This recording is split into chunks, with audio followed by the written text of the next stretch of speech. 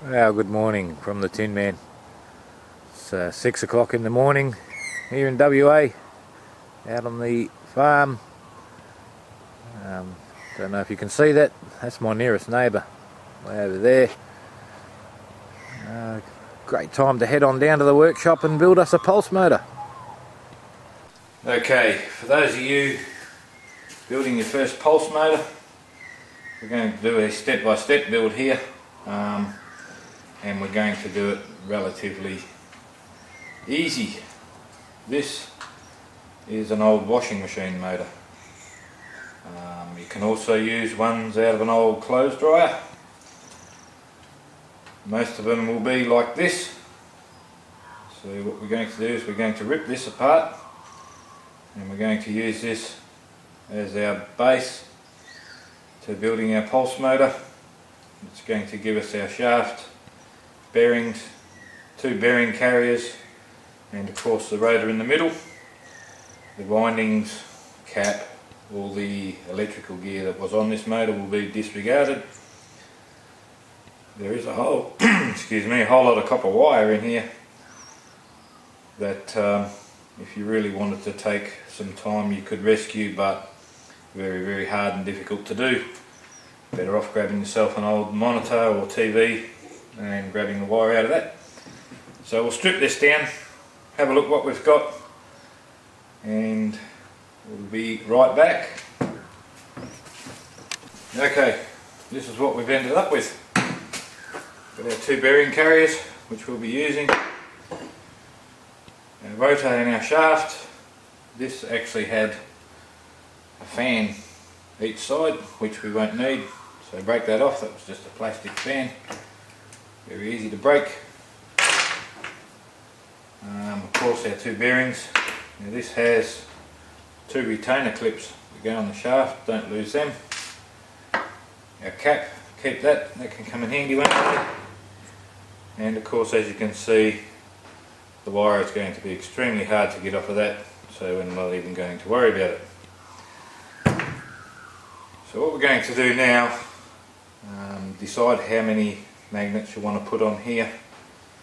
Divide this up evenly to suit the amount of magnets that you want. Now I'm going to be using these here um, actually bought from the local hardware store. They're a neodymium magnet with a hole in the middle and a steel pot on the outside. They're used to screw to the wall and hang your tools on. And they're very very strong as you can see. So and very easy to fix to our rotor. I'm just going to screw them straight on there. I'm going to use four on this one.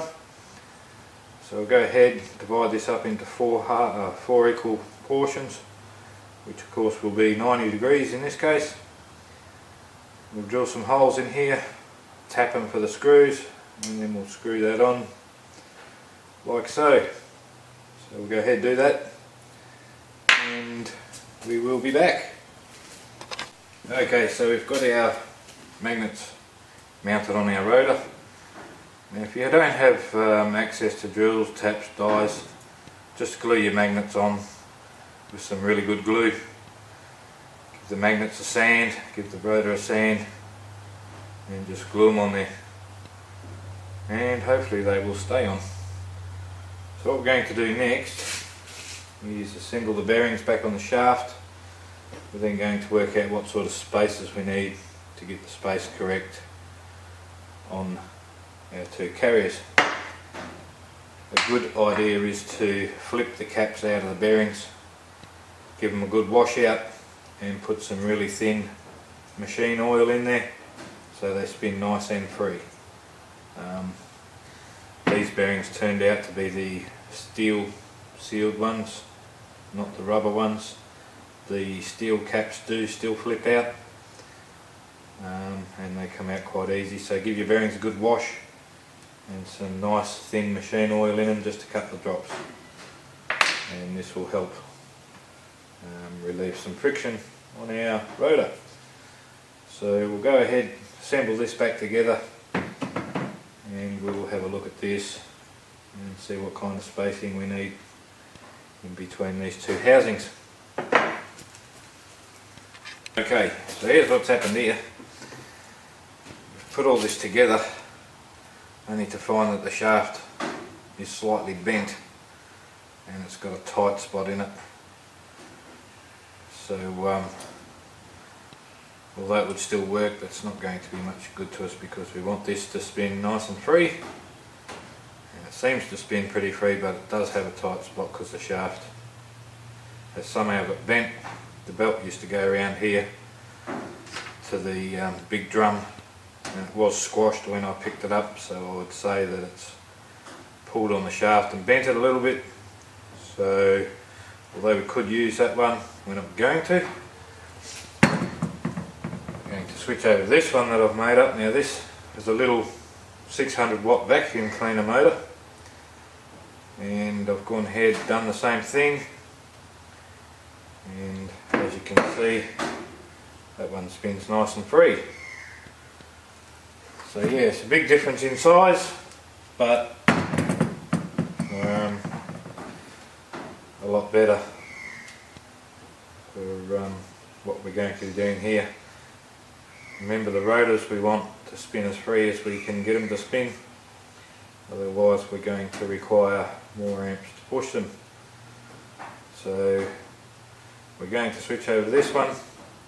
Now what is good about this one is it has some flat sides on it and the two halves went together without any spacings in them whatsoever and it's sitting there very nice. So we've got a flat surface to mount our coil on. And two and three. And this side doesn't. So that side will sit there.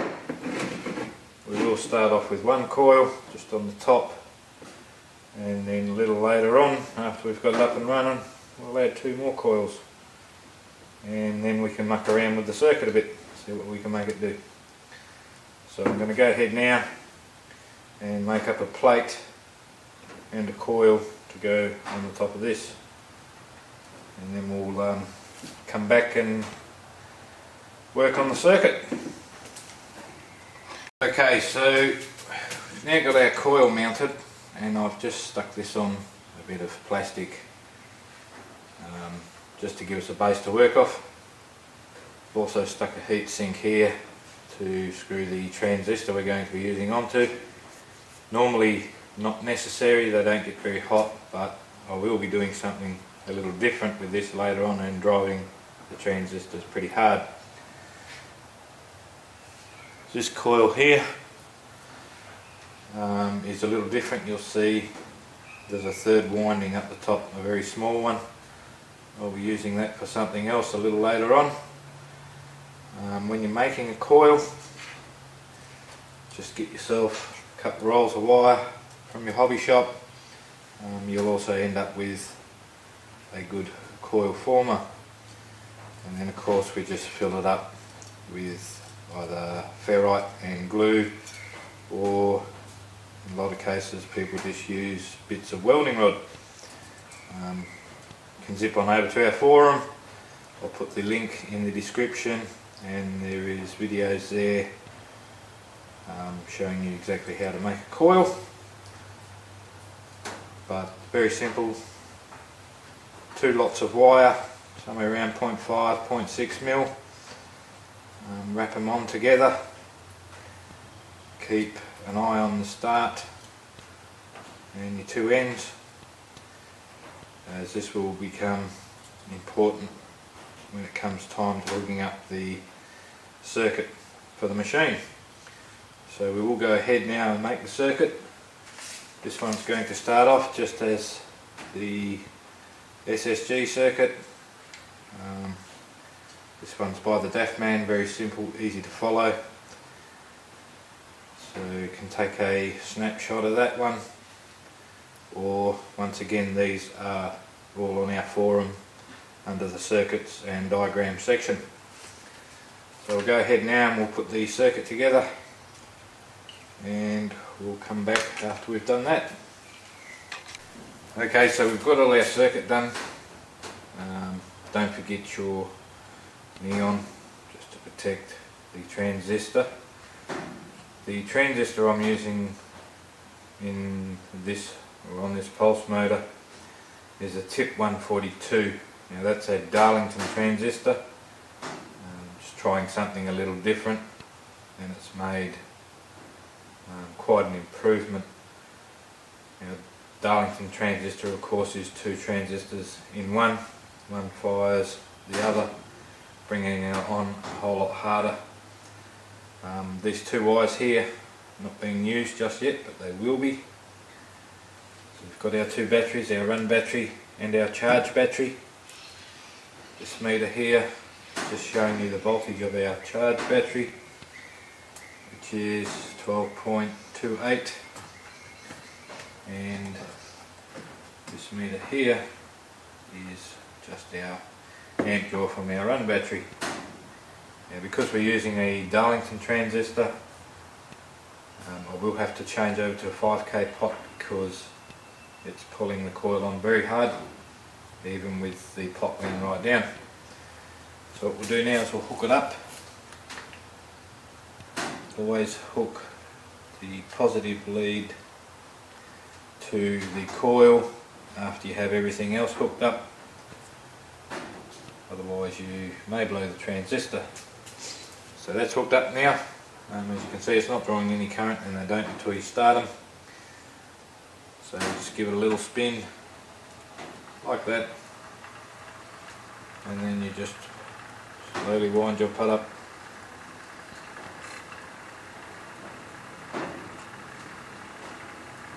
until you get the least amount of current draw from your battery for the most amount going into your charge battery. As you can see our charge battery is already climbing. It is a 7 amp hour battery. It's going up quite quick and the reason because of this is the transistor I'm using. We're also pulling around 600 milliamps. The globe like I said the neon is to protect the transistor or help protect it. If you should accidentally disconnect your charge battery while it's running um, in this case it's going to need two or three of these.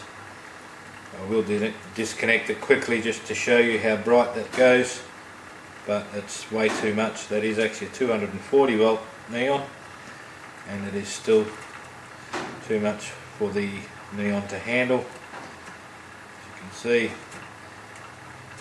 very very bright. It won't take a lot to blow so it won't be giving your transistor much protection. It will need three or four of those on there. Um, that's a very good indication that the voltage spike coming back into our charge battery is very very high. So there you go it's up and running. Um, I will be doing another one or two videos on this. Like I said, I'll be adding two more coils to this. And that's when these here will come into play. Uh, we're going to try something a little different and um, see how that goes. Normal transistors you would use, something like the 2N3055 is the most common, or the TIP 3055 any NPN transistor that can handle a bit of current. But this is running quite nice. Has a fair bit of torque for what it is. Um, with the extra two coils on there we may be able to drive a generator off the shaft. So very simple, very easy setup. And um, these are easy to come by. Vacuum cleaners, washing machines, clothes dryers, any small AC motor small to medium will have a cage like that. And a very simple and easy way to build a pulse motor. So I hope, hope that's helped out any guys just getting into it looking for an easy build. That's fairly easy. And as you can see now up to 1238 volts. Um, it's charging very very well Okay. Uh, for now, it's cheers from the Tin Man. Well, I thought I'd just chuck a bit of a close-up of the um, motor running. You can see our rotor and magnets are spinning around there quite nicely. It's reasonably quiet.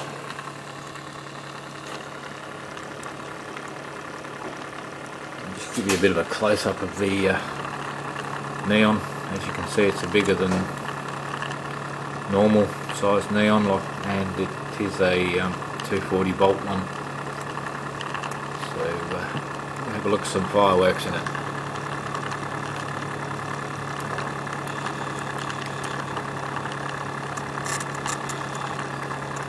That's what happens when you use a Darlington transistor switches on very hard and switches off very hard and you get a much much better return from the run coil. I would hope to think how many volts are coming out of that. Close to 700 I would say. And our battery of course is charging up very quick. And that one over there is our amp draw from the run battery, 590 milliamps. But we're getting a very good charge as well.